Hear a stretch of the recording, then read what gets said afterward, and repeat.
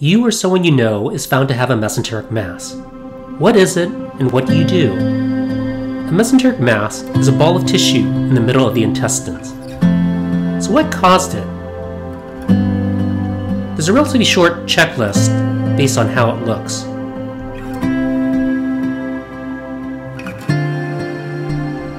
Number one, a neuroendocrine or carcinoid tumor of the small intestines less likely fibromatosis or desmoid tumor, or rarely lymphoma and sclerosing mesenteritis.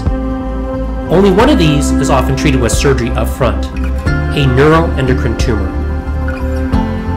So if you're unsure what to do, seek out an expert in small intestine neuroendocrine tumors.